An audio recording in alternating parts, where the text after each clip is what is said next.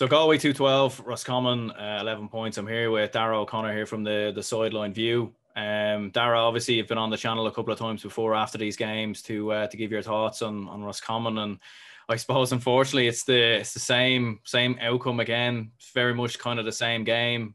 Um, what were your thoughts?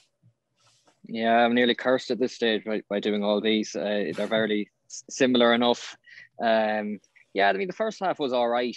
Uh, it was kind of a slow burner, if you like, up until that first water break. Two teams were probably just feeling the game out, and they were. I mean, we had everyone back and go with, and maybe had Shane Walsh up front at, at times. Um, so probably for a neutral, that first 17, 18 minutes was was a poor watch.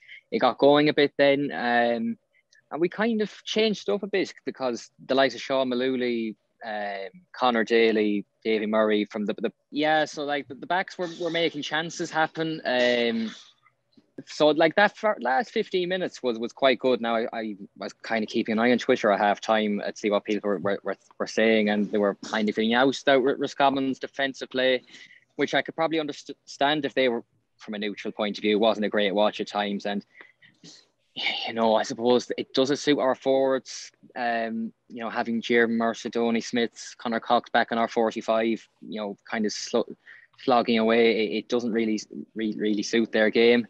Um, yeah, I thought Galway were there for the taking today. I think that's a bit frustrating, if you like, because, you know, like if you look even the second half, their scores, a lot of them were from our mistakes, you know, really poor mistakes, giving the ball away, and they overturned it and punished us, and we couldn't do the same to them, um, you know, they made a couple of mistakes. Even the goalkeeper was off his line. It just didn't bounce for I think Ciaráin Murtagh at, the, at the time. We just didn't get that that bounce the ball. And in look, in the end, goal we were. I think I think it was five points in the end. They were they, they won by, and yeah, they were probably five points better than us, unfortunately, in that, in that second half. And it's just it's disappointing to end a really poor year, and it's probably our worst year. You know, maybe six, seven years um, in terms of we we if we had a poor league, we had a good championship, or vice versa. And there's there's nothing really to go off this year, so it's back to the drawing board for next year.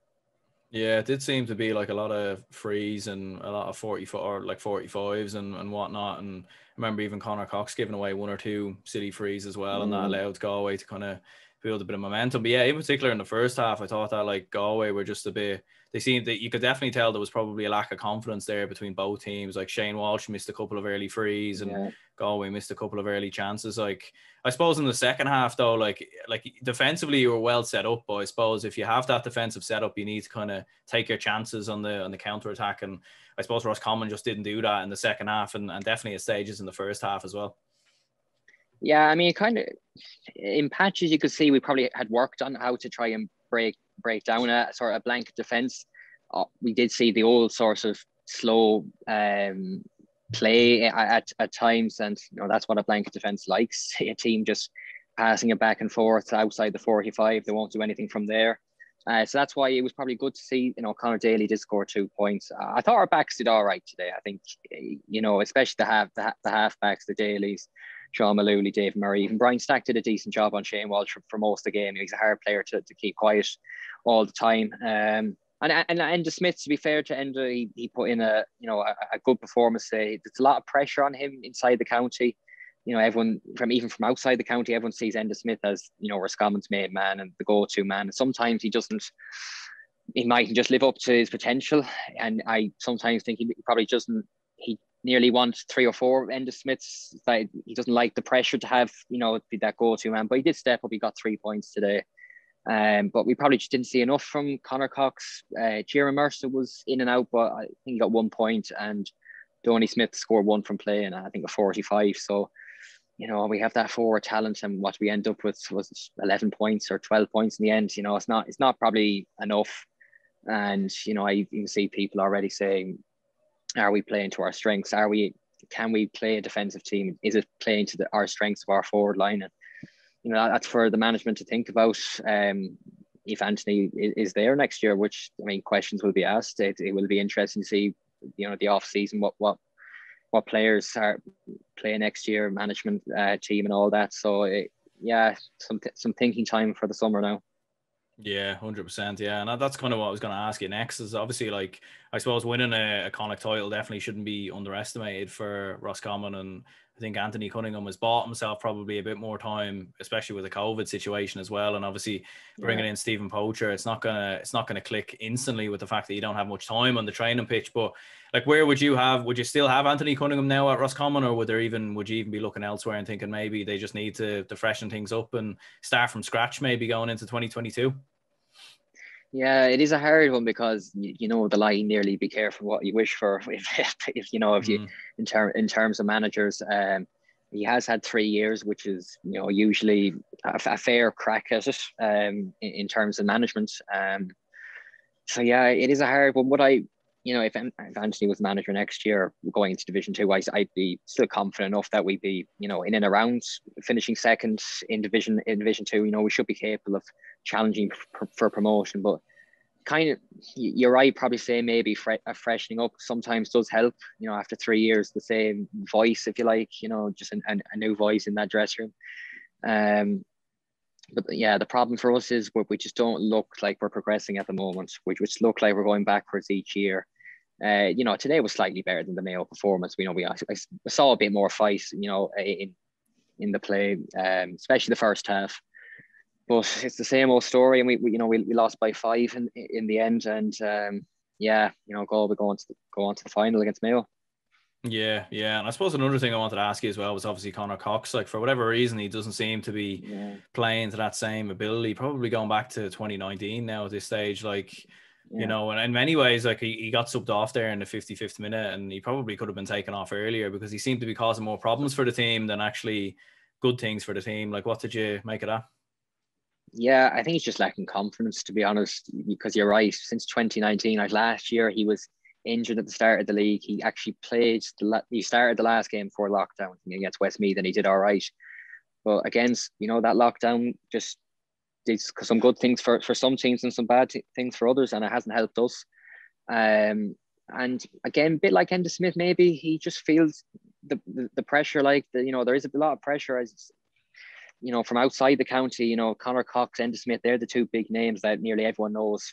Um, you know, that wouldn't watch Roscommon consistently, but I think he was probably left on because you know our bench is weaker, weak enough, and you think if, if you do get a chance, look, Conor, you still rather have Conor Cox and maybe some other people on the ball. But I was kind of surprised when Diarmuid Murtagh was taken off, but before um, Cox today, I thought at least you know Jeremy was looking he was on the ball, you know, some a good bit. Um, whereas Cox in the especially in the first half, just couldn't get into the game at all. And yeah, he took a few wild shots, but that, that's confident. We, we all know he has the ability. Um, you know, you know that 2019 campaign, he was, he was scoring left, right, and centre. So I think it will come back. Maybe a Division Two campaign might get that back against some some weaker teams. You know, game back on the score sheet, and that's what we have to hope for. Yeah, yeah, no, that that's definitely the the main aim. And obviously, haven't seen Galway in the flesh. How would you think they'll get on now against? Well, we'd have to feel that it's Mayo, obviously, with all due yeah. respect to, to Leitrim. Like, how would you see that game going now in a, in a Connacht final? I fancy Mayo. I wasn't really overly impressed with Galway. Now, maybe that's me, me sounding a bit bitter after the beat Roscommon, but um, I thought they were there for the taking today. Um, you know, I especially like first half, I thought we actually had be- the better of the play. Um, we gave a really poor goal away. Someone obviously switched off, and I think it was Peter Cooke got in in behind. Um, and yeah, the second half, you know, it was a lot of our mistakes that led to free kicks or, or, or Galway scores. If you just watch that game back, I, I I'll watch the highlights anyways. Like a lot of this was was Roscommon's mistakes. The thing Galway have on their side is Diarmuid and Cillian O'Connor well, I, mean, I presume they're both they won't be playing, so that does even it up a bit. If they were playing, I definitely strongly fancy Mayo. Uh, but I know it, Mayo were only playing Sligo, but they brushed them aside very, very quickly last week in that in that first half, which was which was impressive. Um, so I, I fancy I fancy Mayo, but look, all we have the players to, to cause trouble. You know, Damien Comer looks back to a bit of a bit of himself today. You know, he was in the action. He was getting hits left, left, right, and centre, and you know he was was a bit of the old school Comer. Uh, Shane Walsh has a lot more to give as well. Probably didn't have his best game today, but you know he still contributed. And now they have the likes of Matthew Tierney uh, chipping in. He's reliable free taker, and you know even even the back. I think you know Sean Kelly, uh, a cornerback, he driving runs uh, up that field. I thought he was very good today. So Galway have the talent, no doubt about it. But whether they can click and, and beat a Mayo side that um, are youthful, but they're, they're brimming with confidence at the moment. Mm. And I suppose lastly, obviously you're at the game in uh, in Hyde Park, and I suppose obviously not the not the best conditions, but it looks of it, and yeah. obviously probably not the, the best game to go to from a Roscommon point of view. But what was yeah. it like anyway to be back and I suppose back at games again? Because I know for most fans it's been a it's been a long time coming. Yeah, it was great just even to see the you know actual people at, at games again. Um, you know, you, I was even thinking there like you could have even had a you know another one or two thousand, like you saw that terrace over there, just completely empty. So, mm. um, it, it, could have been more full. I, I would have thought, anyways. But you know, it, it was good to even just even a few scores to get that bit of roar again, and uh, it, it definitely probably helped the game. Definitely the second quarter after that water break, you know, the crowd was up a bit more, and it definitely kicked on the players. Uh, to sort of drive on a bit more, but um, yeah, look, unfortunately, from our point of view, that, especially after the second water break, once I mean, once goal, we got that second goal. It was even see see people leaving again. you haven't seen that sight. People yeah. leaving early for, for for a couple of years. So yeah, even just to see that with, I suppose when you see people leaving early, you know it's not been a good day at the office. Yeah, yeah, no, no, no two ways about it, definitely. But um, yeah, look, listen, cheers anyway, Dara, for coming on. I'll link down sideline view as always for anyone to check it out, and uh, and cheers for your time. Yeah, no bother, Aaron.